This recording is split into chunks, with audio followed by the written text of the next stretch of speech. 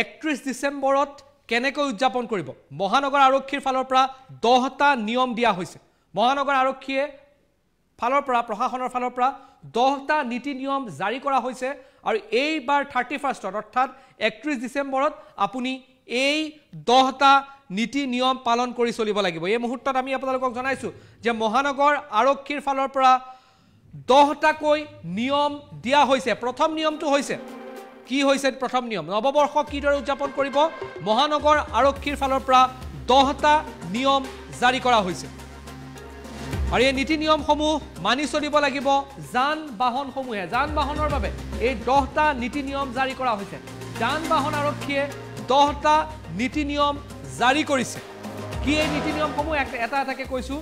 নিয়ম নেমানিলে আপোনালোকৰ বিৰুদ্ধে কঠোৰ হ'ব আৰক্ষী। অৰ্থাৎ এই দহটা নিয়ম যদি পালন কৰা নাযায় তেতিয়াহ'লে আৰক্ষী প্ৰশাসন কঠোৰ হ'ব। আৰু এই মুহূৰ্তত আমি আপোনালোকক এই দহটা নিয়ম ক'বলৈ বিচাৰিছোঁ। প্ৰথম নিয়মটো হৈছে অনুজ্ঞাপত্ৰবিহীনভাৱে যান বাহন চলাব নোৱাৰিব ৰাজপথত। লাইচেঞ্চ নথকা যান নথকাকৈ যান বাহন আপুনি চলাব নালাগিব। সুৰাপান কৰি যা- যান বাহন চলাব নোৱাৰিব। যান বাহন চলোৱাৰ সময়ত মোবাইল ফোন ব্যৱহাৰ কৰিব নোৱাৰিব। এয়া দহটা নীতি নিয়ম জাৰি কৰা হৈছে। বাৰ ৰেষ্টুৰেণ্ট ক্লাব শ্বপিং মলৰ পাৰ্কিংস্থলীত চি চি টিভি লগোৱাটো বাধ্যতামূলক। নিশা থাকিবলগীয়া পৰ্যাপ্ত পৰিমাণৰ লাইট থাকিব লাগিব নিশা। এইখিনিও ইয়াত কোৱা হৈছে। তাৰ লগতে কোৱা হৈছে বনভোজস্থলীত সুৰাপান কিনা বেচা আৰু সেৱন কৰাটো নিষিদ্ধ। এয়া সম্পূৰ্ণৰূপে বনভোজস্থলীত নিষিদ্ধ কৰা হৈছে। একেটা পৰিয়ালৰ লোকে এখন বাহনহে ব্যৱহাৰ কৰিব পাৰিব। এয়া নতুন নিয়ম দিয়া হৈছে। নিৰ্দিষ্ট লেনত চলাব লাগিব বাহনসমূহ। যান বাহন নিৰ্দিষ্ট লেনত চলাব লাগিব। এই দহটা নিয়ম আৰক্ষীয়ে বেয়া ব্যৱহাৰ কৰিলে অভিযোগ দিয়ক ওপৰ ওপৰৰ আৰক্ষী চকীত। যদি আৰক্ষীয়ে যদি আপোনাক বেয়া ব্যৱহাৰ কৰে তাৰ বাবে আপুনি অভিযোগ দিব পাৰিব। শান্তি শৃংখলা বজাই ৰাখিবলৈ আহ্বান যান বাহন আৰক্ষীৰ ফালৰ পৰা এই দহটা নিয়ম জাৰি কৰা হৈছে।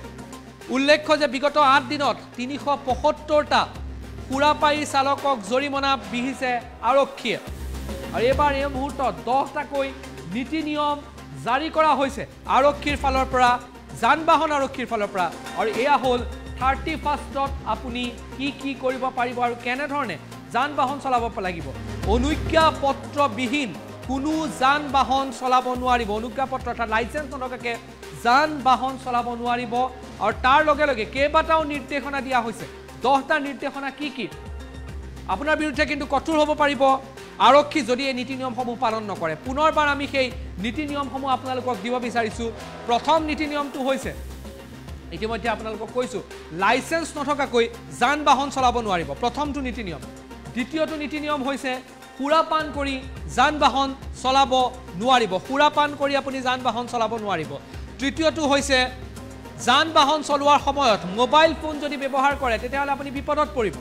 এয়া তৃতীয়টো দিয়া হৈছে। চতুৰ্থটো হৈছে বাৰ ৰেষ্টুৰেণ্ট ক্লাব শ্বপিং মলৰ পাৰ্কিংস্থলীত চি চি টিভি থাকিব লাগিব। আপোনালোকে চি চি টিভি যাৰ এই বাৰ আছে বা ৰেষ্টুৰেণ্ট আছে তেওঁলোকে লগাব লাগিব।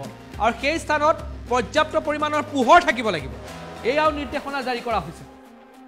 বনভোজস্থলীত সুৰাপান কৰিব নোৱাৰিব আৰু সুৰাৰ কিনা বেচাও তাত সম্পূৰ্ণৰূপে নিষিদ্ধ। সুৰাপান কৰিবও নোৱাৰিব কিনা বেচাও কৰিব নোৱাৰিব। একেটা পৰিয়ালৰ লোকে এখন বাহনতহে যাব পাৰিব। ঘৰত তিনিখন গাড়ী আছে বুলি তিনিখন গাড়ী উলিয়াই লৈ যাব নোৱাৰিব। নিৰ্দিষ্ট লেনত বা যান বাহন চলাব লাগিব। এয়া কঠোৰ নিৰ্দেশনা জাৰি কৰা হৈছে। লেনৰ ভিতৰতে চলিব লাগিব তাই ইফাল সিফাল কৰিব নোৱাৰিব। আৰক্ষীয়ে যদি ক'ৰবাত বেয়া ব্যৱহাৰ কৰে তেতিয়াহ'লে ওপৰৰ যিসমূহ আৰক্ষী আৰক্ষী বিষয় আছে তেওঁলোকক আপুনি অভিযোগ কৰিব পাৰিব টুইটত কৰক ডি জি পিক টুইট কৰক তেনেধৰণেও কৰিব পাৰিব। যদিহে আৰক্ষীয়ে ব্যৱহাৰ বেয়া ব্যৱহাৰ কৰে শান্তি শৃংখলা বৰ্তাই ৰাখিবলৈ আহ্বান জনোৱা হৈছে। আৰু বিগত আঠ দিনত তিনিশ পঁসত্তৰজন সুৰাপায়ীক সুৰাপায়ীক জৰিমনা বিহা হৈছে। এয়া দহটা কঠোৰ নীতি নিয়ম জাৰি কৰিছে মহানগৰ আৰক্ষীয়ে একত্ৰিছ ডিচেম্বৰৰ বাবে যদি পালন নকৰে তেতিয়াহ'লে পৰিব বিপদত। পোনপ্ৰথমতে মই আমাৰ মহানগৰ যান বাহন শাখাৰ তৰফৰ পৰা সমূহ মহানগৰবাসী তথা অসমবাসীক নতুন বছৰৰ আগন্তুক নৱবৰ্ষৰ শুভেচ্ছা জ্ঞাপন কৰিছোঁ। এই সময়খিনিত যথেষ্ট পৰিমাণৰ পথ দুৰ্ঘটনা হোৱা দেখা যায়। পথ দুৰ্ঘটনা যাতে ৰোধ কৰিব পাৰি তাৰ কাৰণে আমাৰ যান বাহন শাখাৰ তৰফৰ পৰা প্ৰচেষ্টা অব্যাহত আছে আৰু অব্যাহত থাকিব। আমি ইতিমধ্যে আপোনালোকে দেখিছে যে আমি স্পেচিয়েল ৰাইড কিছুমান আমি এতিয়া কৰি আছোঁ পাৰ্টিকুলাৰলি ড্ৰাংকেন যিবিলাক সুৰাপান কৰি যিবিলাকে গাড়ী চলায় তাৰ ওপৰত আমাৰ দিনে নিশাই আমাৰ এনফৰ্চমেণ্ট চলি আছে। যাতে উক্ত সময়খিনিত নৱবৰ্ষৰ আদৰাৰ নামত বা নৱবৰ্ষৰ সময়ত বিশেষকৈ একত্ৰিছ তাৰিখ আৰু এক তাৰিখ পথ দুৰ্ঘটনাৰ সংখ্যাটো বঢ়া দেখা যায়। গতিকে যাতে পথ দুৰ্ঘটনা আমি ৰোধ কৰিব পাৰোঁ তাৰ কাৰণে মই কেইটামান সমূহ জনসাধাৰণ গুৱাহাটী মহানগৰবাসীক আহ্বান জনাব খুজিছোঁ যে কোনেও যাতে সুৰাপান বা নিচাযুক্ত দ্ৰব্য সেৱন কৰি গাড়ী নচলায়। তীব্ৰ গতিত যাতে কোনেও গাড়ী নচলায়।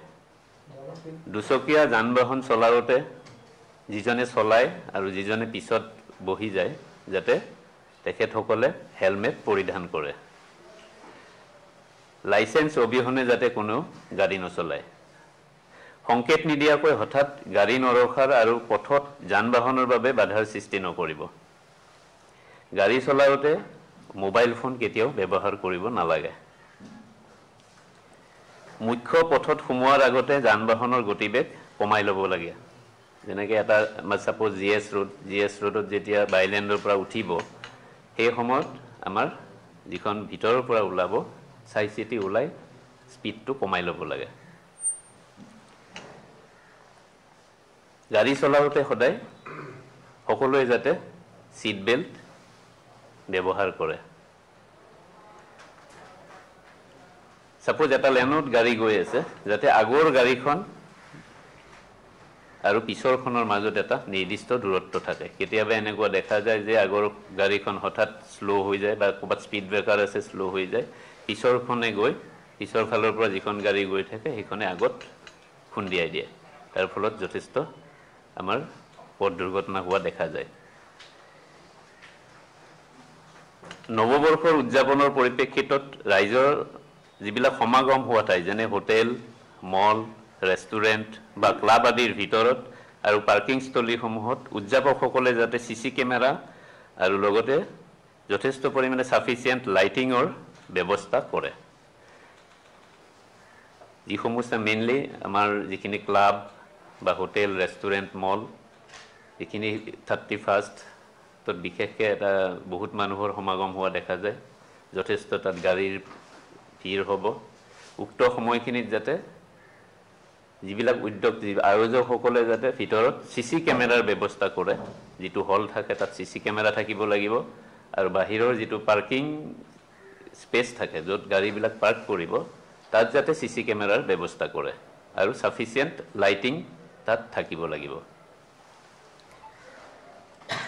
পথ দুৰ্ঘটনা ৰোধ কৰাৰ বাবে বনভোজস্থলীসমূহত কোনো ধৰণৰ মাদক দ্ৰব্যৰ কিনা বেচা বা সেৱন কৰাৰ পৰা বিৰত থাকিবলৈ আমি ৰাইজক বিনম্ৰ অনুৰোধ জনাইছোঁ।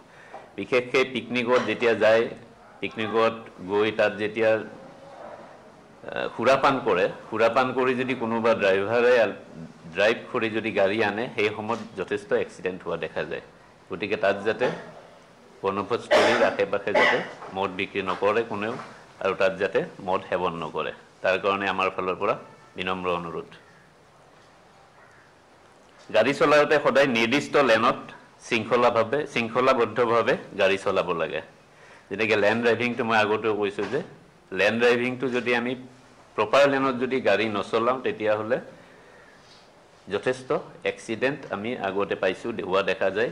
গতিকে যাতে লেণ্ড ড্ৰাইভিংটো সকলোৱে যাতে মানি চলি গাড়ীখন চলায়। সকলোৱে যাতে শান্তি শৃংখলা বজাই ৰাখি নৱবৰ্ষ উদযাপন কৰে তাৰ বাবে আমাৰ ফালৰ পৰা সকলোকে বিনম্ৰ অনুৰোধ জনাইছোঁ। নেক্সট আমি দেখা পাওঁ যে এক তাৰিখে বিশেষকৈ আমাৰ কিছুমান স্থানত যেনেকৈ মন্দিৰবিলাকত কামাখ্যা মন্দিৰ গীতা মন্দিৰ বা আমাৰ চিৰিয়াখানাত আৰু বিভিন্ন ঠাইত যথেষ্ট সমাগম হোৱা দেখা যায়। উক্ত সময়খিনিত একে সময়তে বহুত যেতিয়া গেডাৰিং হয় তেতিয়া আল্টিমেটলি যান জঁট এটাৰ সৃষ্টি হয়।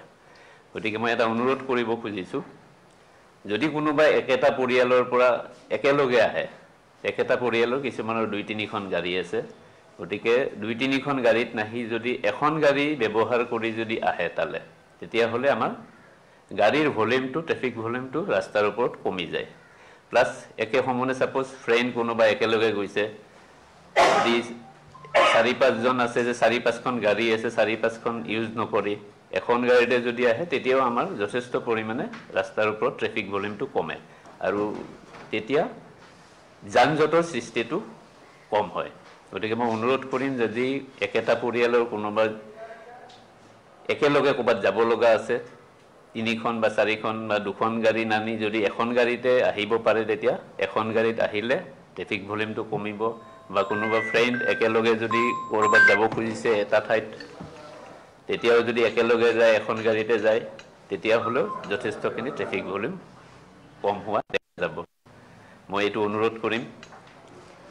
আৰু সকলোৱে যাতে এই সময়খিনিত এই সময়খিনি একচুৱেলি আমাৰ এই সময়খিনিত যথেষ্ট কুঁৱলী পৰে ঘন কুঁৱলী। ৰাস্তাৰ ওপৰত ভিজিবিলিটিটো কম হয় ৰোড ভিজিবিলিটি কম হয়। গতিকে এক্সিডেণ্টটো বাঢ়ে।